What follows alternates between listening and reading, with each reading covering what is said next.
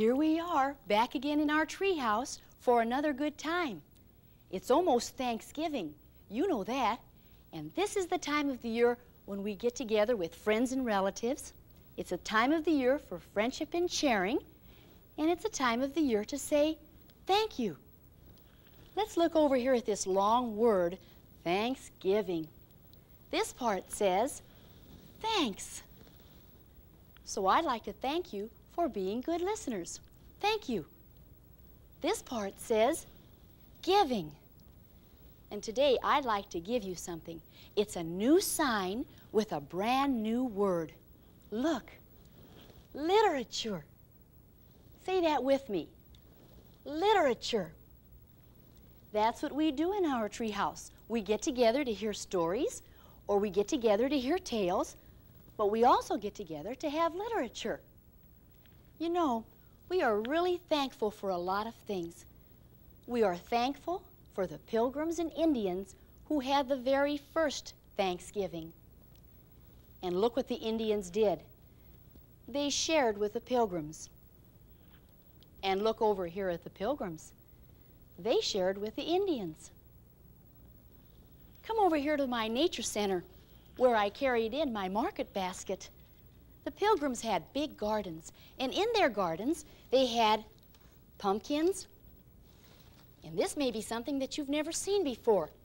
It's a squash. And look at these. These are pretty, and they're orange and green and all different colored. Listen. They have a hard shell, and they're called gourds. The pilgrims shared their corn also. Did you remember that the Indians shared deer and wild turkey with the pilgrims? And today, we are very thankful for the farmers we have who raise turkeys because we will have one for Thanksgiving. Look over there. Those are baby turkeys and they're only three days old. Aren't they little? And look at all those turkeys. They spend their day gobbling and gobbling and wobbling and wobbling. Can you see their feeding boxes?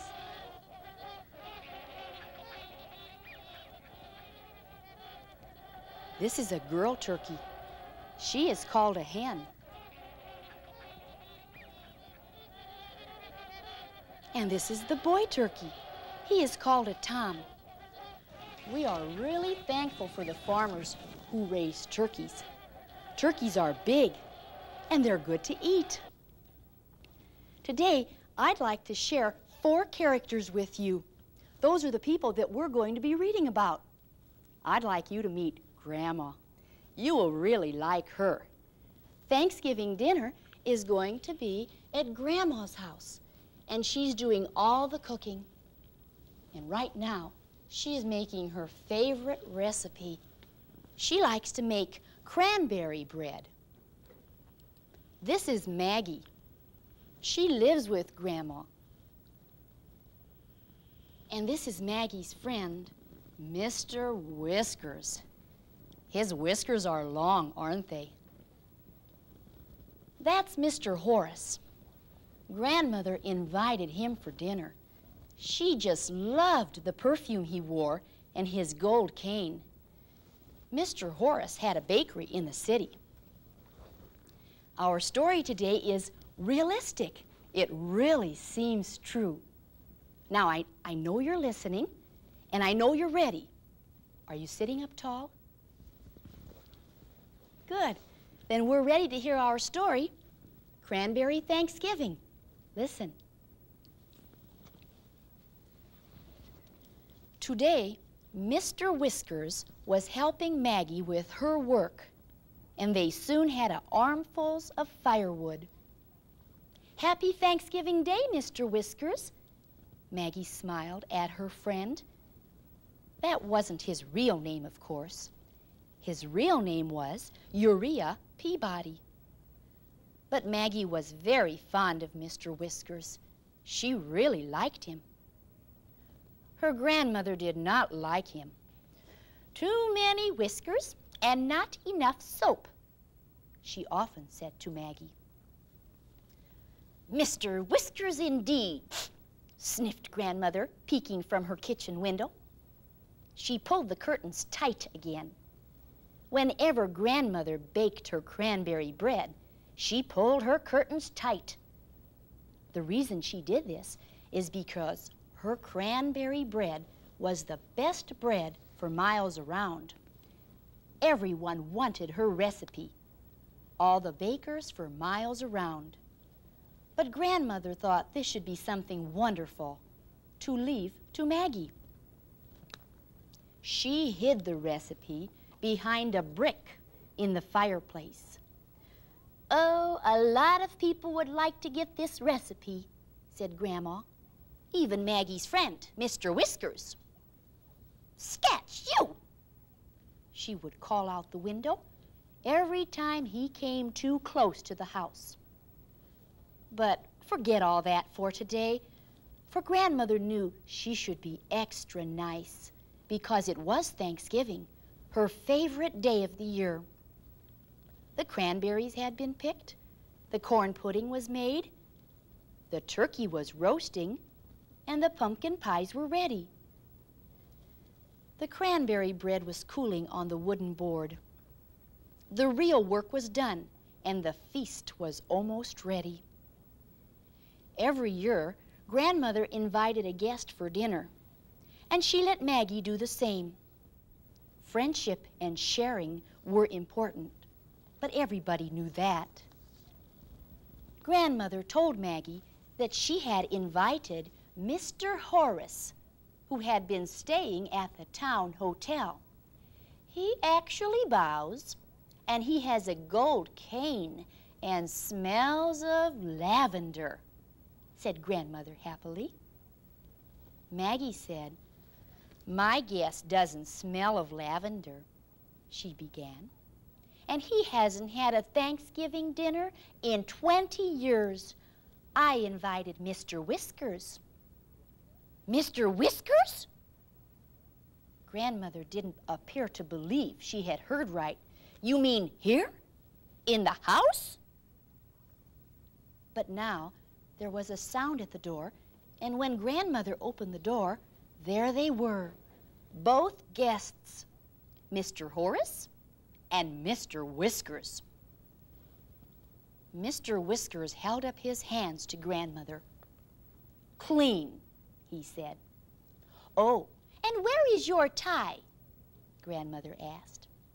He lifted his long whiskers. Right here, where it's always been. They sat down at the dining room table. Let's sing We Gather Together, said Maggie, and they all joined in the old hymn.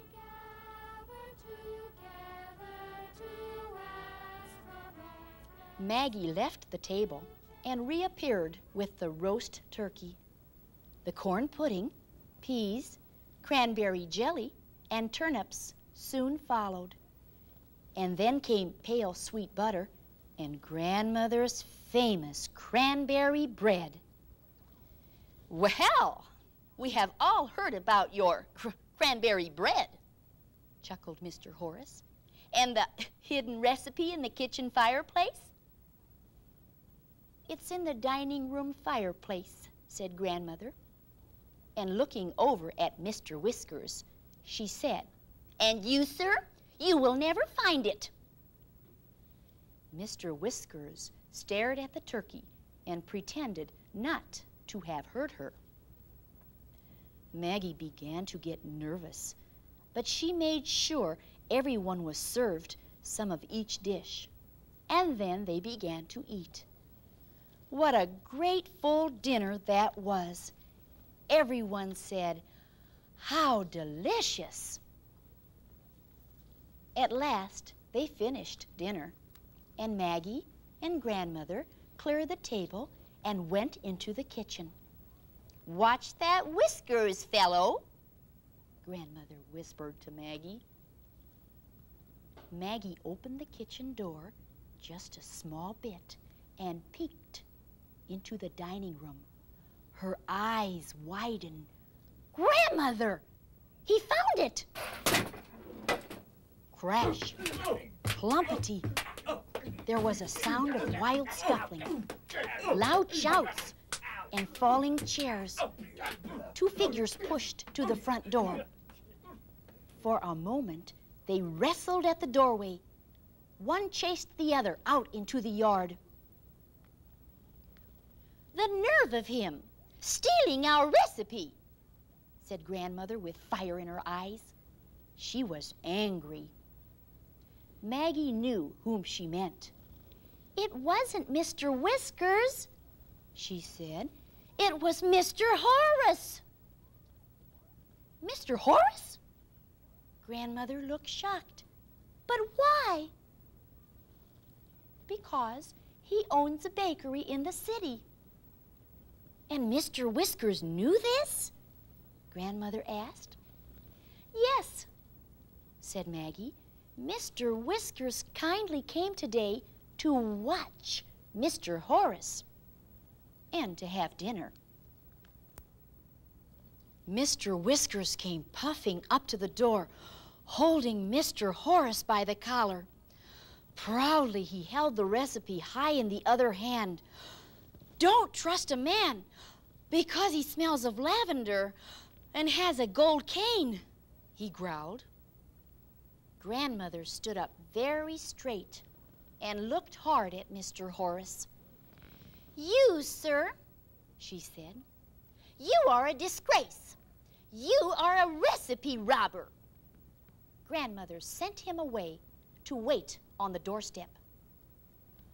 This time, she took Mr. Whisker's arm into the dining room. They sat by the fireplace and ate pumpkin pie and whipped cream. Suddenly, they heard a loud wail from Mr. Horace. Oh, no! Goodness, is he still there? said Maggie. Shall we let him in? It is Thanksgiving, said Grandmother. They looked at Mr. Whiskers.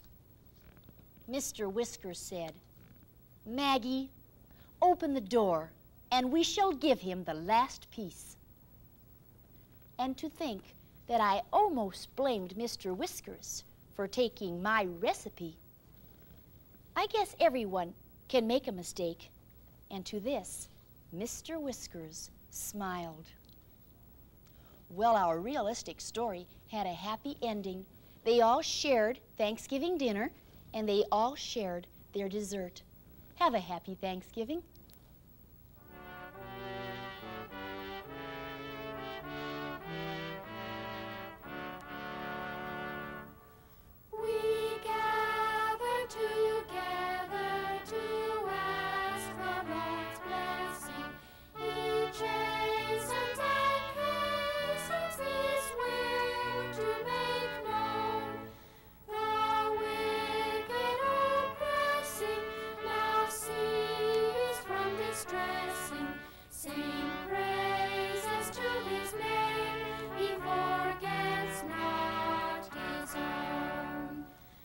I'll see you next time for literature. Goodbye.